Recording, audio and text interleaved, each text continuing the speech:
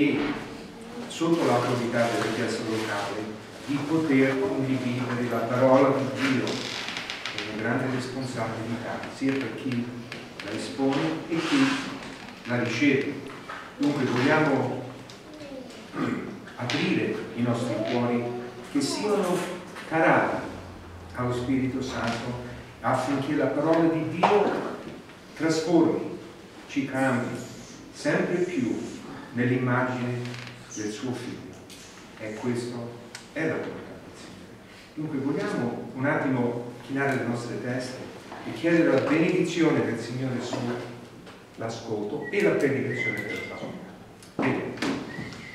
Signore Dio, vogliamo ringraziarti per questo dono di poterci accostarci per cercare il tuo volto nella tua parola. E siamo certi, Signore, tu che sei un padre benevolo che dai cose buone ai figli che te lo chiedono, nel nome del figlio di Gesù, che tu ci darai cose buone oggi, Signore. E queste cose non provengono dalla capacità di un uomo, né, Signore, da una denominazione, ma vengono dietro la potenza della tua parola. E ti prego in questo momento tutti insieme siamo di una sola mente con lo Spirito, Signore, affinché, Signore, possiamo accoglierla e possiamo, Signore, crescere per diventare sempre di più come tu desideri che i tuoi figli siano. Ma tutto questo lo facciamo e te lo chiediamo per la tua gloria. E in Cristo te lo preghiamo. Amen.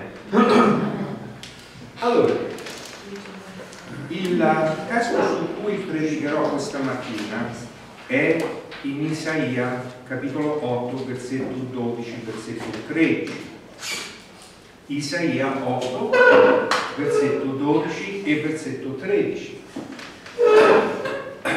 e la parola dice non chiamate congiura tutto ciò che questo popolo chiama congiura. Non temete ciò che esso teme e non vi spaventate santificate il Signore degli eserciti sia Lui quello per cui provate timore e paura Amen. Durante la seconda guerra mondiale un'autorità militare andò dal famoso generale Patton che stava in Sicilia e quando incontrò e vide il generale lo elogiò diceva oh generale lei è un uomo molto coraggioso lei è un uomo veramente senza paura lei è un generale unico ma il generale gli rispose e disse signore guarda che io la verità è questa io sono un codardo un generale di quella dimensione, di quella eh, calibro, io sono un codato, ogni volta che c'è, sento uno sparo o c'è una, sto per entrare in guerra, io incomincio a sudare, vado in ansia. E anni dopo il generale scrisse un'autobiografia e nella autobiografia disse io ho imparato tante cose nella vita, ma una delle cose più importanti che ho imparato proprio nei primi anni della mia vita è di non fare la paura il mio consigliere, perché le paure non sono buoni consiglieri.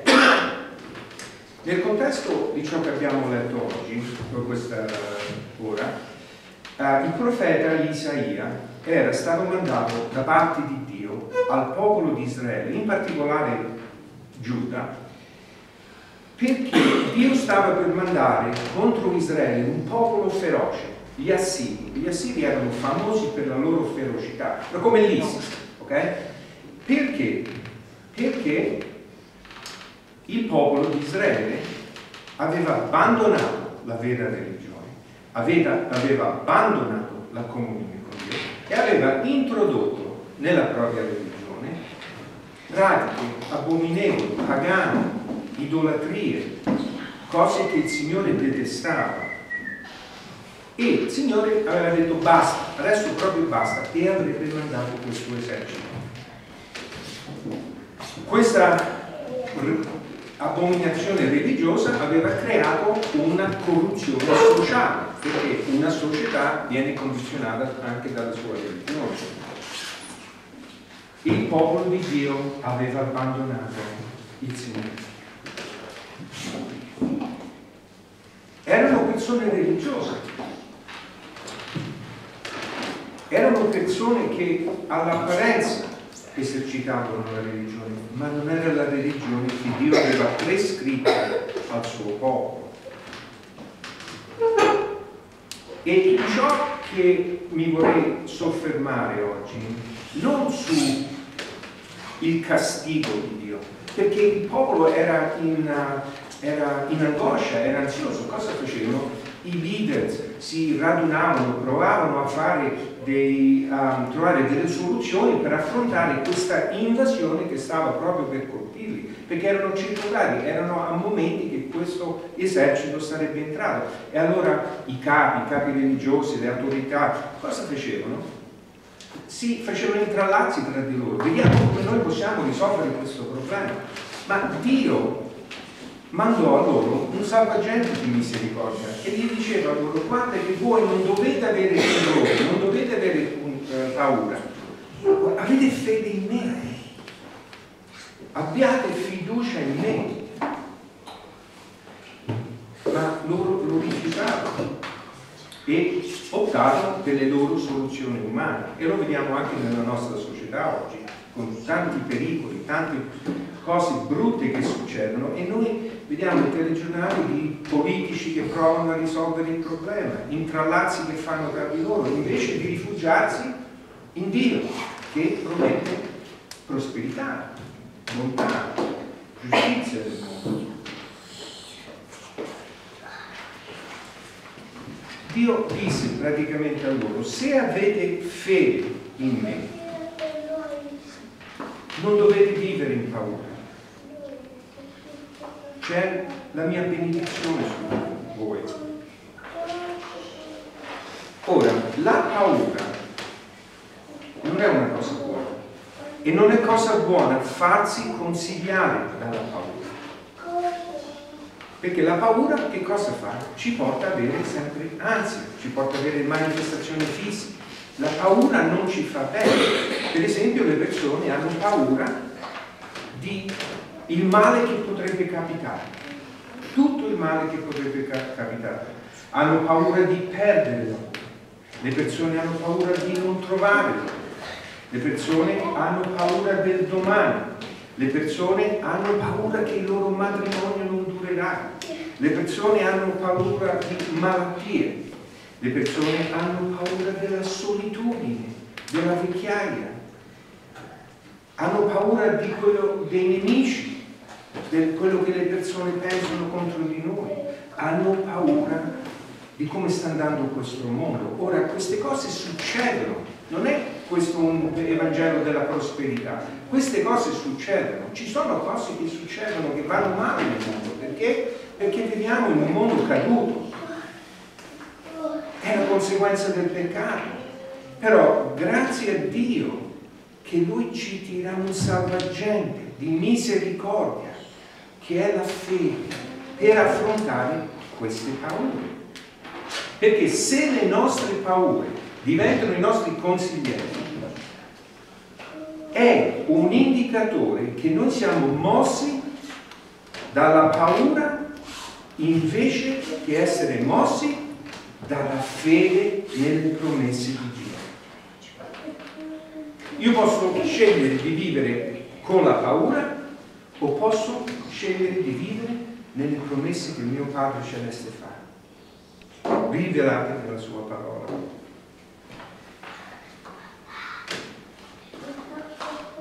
E malgrado quello che succede, dovesse succedere quello che temiamo, ricordiamoci, il Signore ce lo permette per il nostro bene, è nella sua sovrana volontà, ha uno scopo per questo.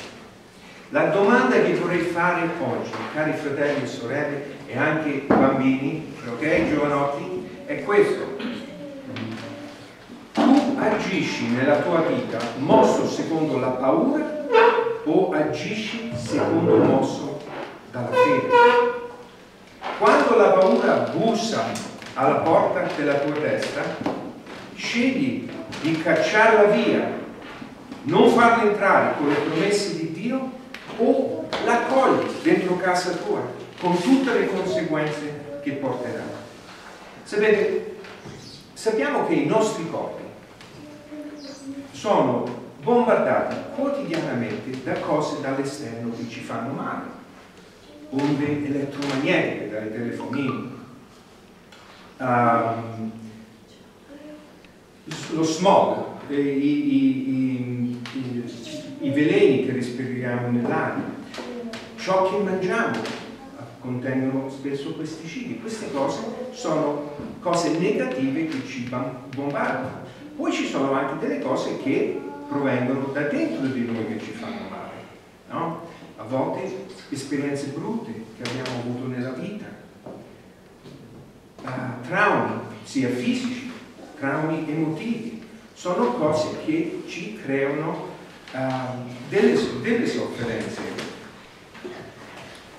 E similmente anche le nostre menti vengono bombardate da cose nocive. Apri, accendi il televisore, paura della pensione, che pensione avrò quando sarò vecchio? Ce l'avrò la pensione, non lo so, no, no, no, no. I sbarchi che stanno avvenendo, morbillo, meningite, poliomiolite, mucca pazza, pollo pazzo, tutti pazzi, no?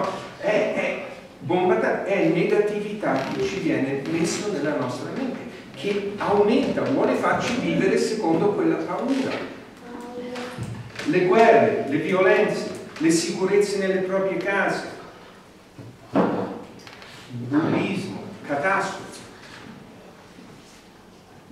Sono cose ovviamente che bombardano e bussano alla nostra porta della mente. E la paura e la fede hanno tutte e due però una cosa in comune. Tutte e due portano a credere in qualche cosa che noi non vediamo. Sia la paura e la fede hanno una cosa in comune ci portano a credere in qualche cosa che tu non vedi. La paura dice, oh, questi dolori che sto avendo nel fianco, sai, questi sono gli stessi dolori che ebbe mia nonna quando si scoprirono il tumore, no? La fede invece risponde, aspetta, questo dolore è temporaneo, perché anche se dovesse essere quello che è, Dio, Signore mi darà un corpo nuovo. La paura dice, ah, i miei figli non si convertiranno mai, non troveranno sposi credenti, la futura generazione sarà abbandonata, cosa succederà? Questo è quello che ci dice la paura. Ma la parola dice quello che dice nel Salmo 103. La benignità dell'Eterno dura l'eternità in eternità per quelli che lo temono e la sua giustizia per i figli dei figli. Noi contrastiamo invece la paura con la parola di Dio, con la fede. La paura dice io non troverò lavoro, il lavoro scar scarseggia. E cosa farò se perdo il mio posto di lavoro? La, la fede invece risponde Dio ha promesso di provvedere ad ogni mio bisogno nel modo perfetto. La paura dice quando sarò vecchio come farò? Non avrò una pensione, come andremo avanti? i pochi risparmi che ho, il mercato, perdo tutto. Salmo 37 cosa dice? Ormai sono divenuto vecchio e non ho visto mai il giusto abbandonato nella sua discendenza a medicare il pane. La paura dice io ho passato troppe cose brutte nella mia vita. Ho commesso troppi errori nella mia vita. Ormai è troppo tardi, che posso fare? per rimediare o cambiare la situazione, eh, per migliorarlo. Non potrò mai essere felice, veramente. Ma la fede che cosa dice? Grazie a Gesù, i miei giorni migliori devono ancora avvenire. La paura è avere fede nella direzione sbagliata. Puoi usare la fede in un modo positivo o puoi usare la fede in un modo negativo. Se tu pensi ripetutamente su una co cosa che ti mette paura, giorno dopo giorno, mese dopo mese, quella paura prenderà radice nella tua vita, nel tuo soccorso e anche il tuo fisico ne soffrirà di questo. Giobbe disse, capitolo, eh, capitolo 3, 25, disse non appena temo un male, esso mi colpisce e quel che mi spaventa mi piomba addosso. Avete sentito mai o visto mai persone, conoscete mai persone ipocondriaci? No? che loro pensano a quel male e manifestano i sintomi. Noi avevamo un amico, un fratello in comune, ti ricordi Nando? Sì, sì. Okay. Nando, ve lo ricordo, Nando avevano, è stato male e avevano diagnosticato la senilità precoce, che non era quello che aveva. Il giorno dopo lo vedo, si era messo un scoffola, preso un bastone e ha cominciato a fare la parte della persona. Perché? Perché ha creduto in quella cosa. Quello che noi non vogliamo fare, cari fratelli e sorelle, è permettere uno spirito di paura di dargli il diritto di entrare nella nostra vita, nella nostra mente, perché produrrà effetti negativi. E come ho detto prima, la realtà è che se veramente dovesse succedere quello che noi temiamo, permette, c'è una ragione per quello che lo sta facendo, per fortificarci nella sua grazia, perché noi siamo forti quando siamo deboli. È lì dove si mostra la, la potenza di Dio, quando non possiamo più, quando non sono più io, ma sei tu. Ricordiamoci, la parola del Signore dice il Signore corregge quelli che Egli ama. La paura vorrebbe dominare la tua mente, però con l'aiuto dello Spirito Santo e la parola del Signore possiamo imparare a disciplinare la, la nostra mente per agire in un modo diverso, per contrastare la paura con la fede. Prima di tutto bisogna essere nella vera fede, come si ottiene la vera fede? Beh, la vera fede si ottiene attraverso, come dice Romani, l'ascolto della parola di Dio. Romani 10 dice la fede viene da ciò che si ascolta e ciò che si ascolta viene dalla parola di Dio. Quando noi ascoltiamo la parola di Dio produce fede. Dunque se noi non stiamo nella parola di Dio, cari fratelli, è come non mangiare come puoi combattere, come puoi correre, come puoi affrontare la giornata se non fai una colazione o un pranzo. Dunque la fede, la parola di Dio, grazie a Dio che abbiamo la sua parola, cosa fa? Produce fede. La fede è la certezza di cose che non si vedono. E anche se la fede che tu hai in quelle promesse di Dio è piccola, Dio la onorerà comunque sia. Perché il Signore non è che sta mettendo un metodo, dice tu devi venire fino a qui. Dice devi avere fede, sia poca sia tanto, lui onorerà quella fede e ti incontrerà al tuo livello di fede.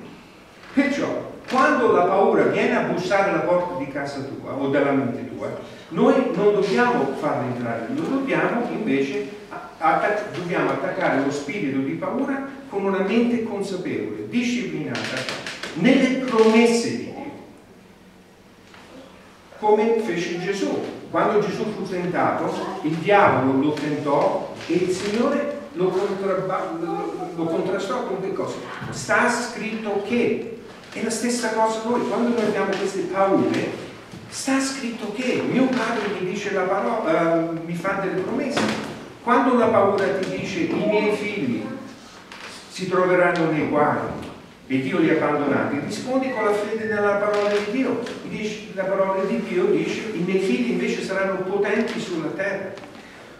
Quando non dormi per il domani, paura dei ladri, che non vuoi trovarti in posti, hai paura di trovarti in posti chiusi, attacchi di panico, um, dichiara con fede che il Signore ha accampato intorno a me i suoi angeli. Ricordiamoci, contrabbattiamo quelle paure con le promesse di Dio. Quando hai paura di persone che vogliono il tuo male o vogliono il male della Chiesa, rispondi con la parola di Dio, le promesse di Dio, che Dio dice che Lui è geloso per me, è geloso per noi come la pupilla dei suoi occhi. Contrastiamo la paura con le promesse di Dio. Quando tu hai paura di realizzare i tuoi sogni, i progetti, ciò che hai nel cuore, però hai paura delle difficoltà e sforzi, specialmente in questa nazione che ci troviamo, cosa dice la parola di Dio? Affida al Signore le tue opere e i tuoi progetti avranno successo. Guarda, questo non è solo per noi, queste sono cose che possiamo portare ai nostri vicini. Perché il tuo vicino dice guarda avrei paura di fare questo, ho paura di questa situazione, di aprire un'attività, di questa... ok, guarda, sai, questo è per me, forse potrebbe essere per te. Queste sono le promesse di Dio. Hai la scelta di ascoltarle o non ascoltarle. Quando Dio ti chiama a condividere la sua parola e ti prende paura di condividere e di testimoniare agli altri, ricordati cosa dice il Signore. Dio, in secondo Timoteo, Dio infatti non ci ha chiamati ad uno spirito di paura, ma di forza, di amore e di disciplina. Dio non ci ha chiamati ad essere paurosi nella testimonianza dell'Evangelo. Non ci ha dato quel tipo di spirito, ci ha dato uno spirito di forza, perché la nostra forza non è in noi, è in Lui. C'è potenza nella parola di Dio. Anni fa, negli Stati Uniti, 1900, c'era un ladro professionista che si chiamava Black Bartle, era cattivo. Lui fece 29 furti con successo uh, senza sparare un proiettile, mascherandosi, mai ucciso nessuno, eppure lui rubava queste corriere che attraversavano gli Stati Uniti e la gente era terrorizzata di questo. Perfino le persone che facevano guardia del Corriere sentivano il suo nome erano terrorizzati ma non aveva mai fatto niente lui entrava, rubava e se ne andava ma erano talmente presi dalla paura e dalla nomina di questo uh, ladro che deponevano le armi e scappava è quello che vuole fare la nostra uh, il nemico vuole fare il nemico vuole uh, atterrarci con le paure perché il nemico mira al tuo cervello. Lui, il tuo cervello è un avversario per lui. E le paure che manda e che noi accogliamo possono indebolirsi o possono, le dobbiamo eh, controllare. Ricordiamoci, i pensieri del Signore per noi sono pensieri per portarci pace, benessere e prosperità. I pensieri di Dio non i pensieri di Dio non sono per il tuo male, ma per darti un futuro, darti speranza, darti la certezza. Egli ha preparato il bene per te. Geremia 29, 11 dice, infatti io so i pensieri che merito per voi, dice il Signore, pensieri di pace e non di male, per darvi un avvenire e una speranza. Ricordatevi, Dio vi tiene, ci tiene stretto nella sua mano Nessun'arma del nemico, nemico potrà mai prosperare contro di te. E ricordati, se stiamo attraversando un momento difficile è solo temporaneo, non è per sempre.